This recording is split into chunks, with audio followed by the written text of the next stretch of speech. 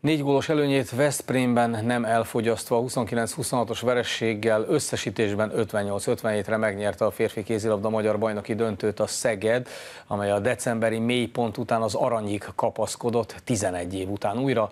A diadarról Pastormester jobb kezével Márkó Krivokapics másodedzővel beszélgetünk. Szia, jó reggelt kívánok! Jó reggelt mindenkinek! Az első a gratuláció részünkről, az második a kérdés, hogy tart-e még az ünneplés, szóval édese még a sör Szegedem? Köszönjük szépen a gratulációt. Nem egyszerű ez a, ez a két nap. Rengeteget ünnepel mindenki, úgyhogy tegnap óta ünneplünk, és ma este zárjuk az évet Csányi úrral és a szponzorokkal. Magyar bajnoknak lenni a Veszprém előtt fontosabb siker számotokra, mint mondjuk majdnem bejutni a BL Final Four-ba, vagy a BL Final Four-ba negyediknek lenni. Szóval mi ennek a e, sikernek most a presztízsa a Szeged számára? Szerintem ez, ez az a, a, a serleg, amelyik legtöbbet ér itt Szegeden, mert úgy gondolom, hogy magyar bajnoknak látjuk, hogy sajnos minden 11 évben tudjuk elcsábítani a, és megnyerni a serleget, de úgy gondolom, hogy rengeteg munka volt ebben, a, ebben a, az évben, nem csak ebben az évben, hanem az években, úgyhogy nagyon örülünk ennek, és főleg, hogy ugye Veszprémben tudtunk ünnepelni, ami, ami egy nekem nagyon, nagyon nagy élmény volt megért, ha már itt tartunk, megértetted a rivális vezetőedző Jubovrányos szomorúságát a szurkolóik miatt? Ugye többet követeltek vajon a Veszprémi szurkolók a csapatuktól, mint amire képes volt? Érdemes a drukkerekre panaszkodni? Hát nekem nagyon nem tetszenek ezek a dolgok, ugye én is edző vagyok, játékos is voltam, voltak ilyen helyzetek, ezek én úgy gondolom, hogy a szurkolóknak türelem kell, én értem, hogy nagyobb a célok, meg nyerni kell, mind, megpróbálni nyerni mindig, de a pályán mindig kettő csapat van, úgyhogy az a szerencse, hogy nem mindig a, ugyanaz nyer. Ilyen szempontból milyen volt a szegedi közönség viszonya a csapatához ebben az évben, az igazán nehéz időszakokban, mert ilyenből kijutott nektek ebben az évben? Kitartottak mindig Pasztormester és a játékosok mellett a szegediek? Az az igazság, hogy nagyon rendben voltak a szurkolók, és mellénk álltak a legnehezebb eh, helyzetekben is a csapat mellett voltak, úgyhogy nagyon szépen köszönjük a, a segítségüket. Velünk vannak, amikor jó, jó mennek a dolgok, velünk vannak, amikor nem, de tényleg az a november-decemberi periódus az, az nagyon nehéz volt, de hál' Istennek, ahogy a szurkolók így a az elnökség mindenki mellettünk volt, és nagyon örülök neki, hogy így tudtuk ezt a bizalmat visszaadni nekik. Márkó, mivel lehetett meggyőzni, vagy miért voltak türelmesek és bölcsek, ezek szerint az eredmény ismeretében bölcsek Szegeden a klubvezetők, a szponzor, a klub tulajdonosa, amikor általában ez Magyarországon a legtöbb helyen nem divatos, tehát sokkal hamarabb el szokott fogyni a türelem, amikor nehéz helyzetbe kerül egy csapat. Nálatok viszont kitartott. Miért? Hát ez nem a nekem való kérdés, de én úgy gondolom, hogy ők látják, hogy milyen munkát végzünk itt Szegeden.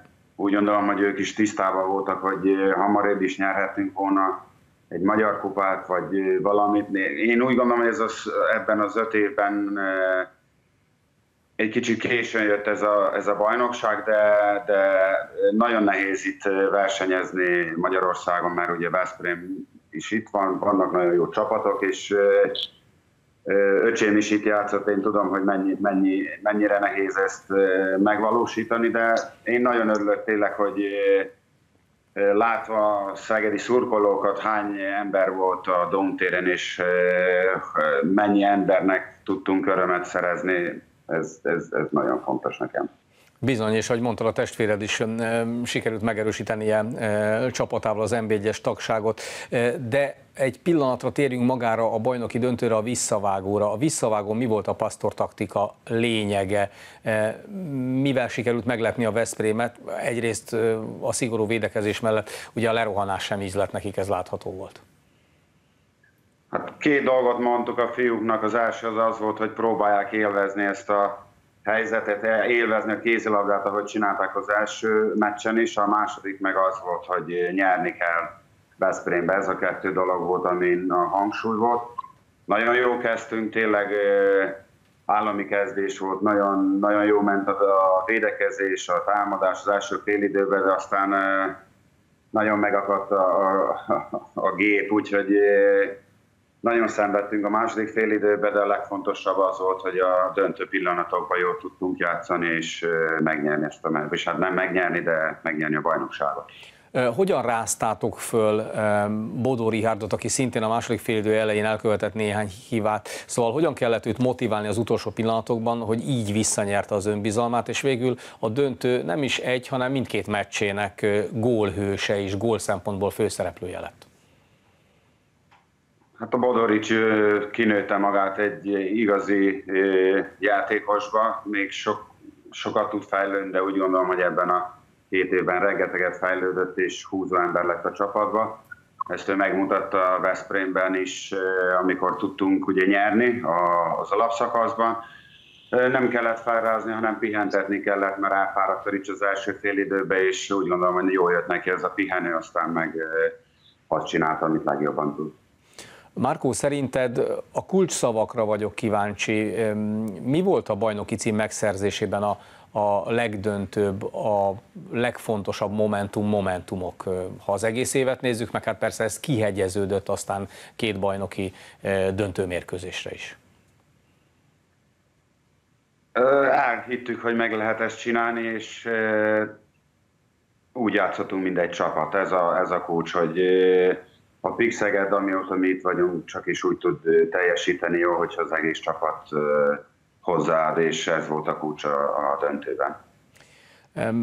Mirko Alilovison kívül Makéda Kanyajas Kasparek is érkezik, majd hozzátok változik a csapat néhány helyen, de változik-e ezzel a játékotok, vagy ugyanarra a konzekvens következetes pastorféle stílusra lehet számítani a jövőben is? És mennyivel lehettek erősebbek, variálhatóbbak jövőre majd?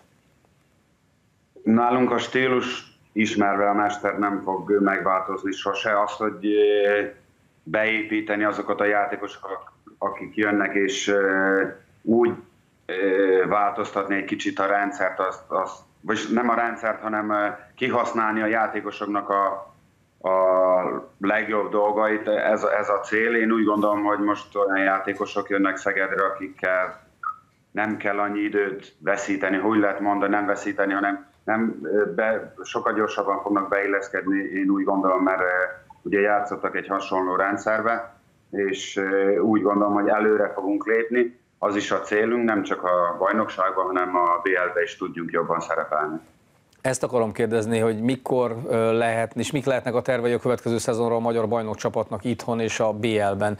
Mikortól beszélhetünk egy folyamatosan Final Four várományos Szegedről, amelyiktől elvárás a kölni döntő. Hát és persze ez mennyiben pénzkérdés, hogy a szponzorok és a támogatók felé is forduljunk, vagy ezt a részét is nézzük.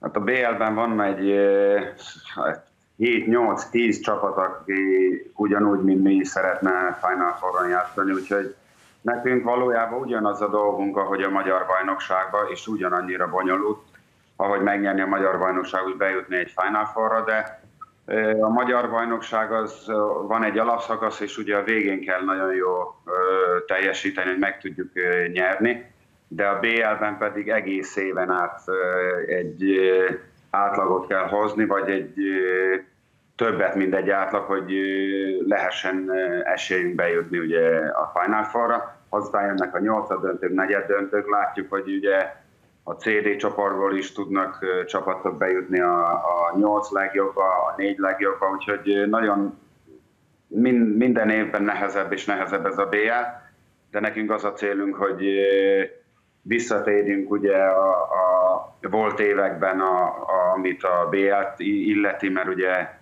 ott tudtunk jó teljesíteni, és hogy le, legyen megint egy lehetőségünk bejutni a nyolcba, és aztán két meccsen megpróbálni bejutni a Final Four, ami ugye egy nagyon nagy vagyis egy történelmi dolog lenne Szegednek.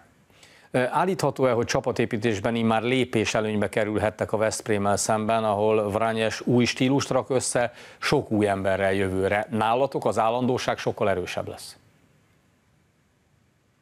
Minden csapatban minden évben jönnek új játékosok, úgyhogy azokat is be kell építeni. Nekünk megvan a rendszerünk, mi itt vagyunk öt éve, ugye Jubomir Vrányes egy éve van Veszprémbe, és nem volt annyi ideje megcsinálni azt, amit ő elképzelt, bár is én úgy gondolom, de mi saját magunkkal foglalkozunk, és mi próbáljuk ugye meg fogunk próbálni ráépíteni erre, ami most van. Úgy gondolom, hogy előre fogunk lépni, és hogy jól fogunk kézilabdázni jövőre is.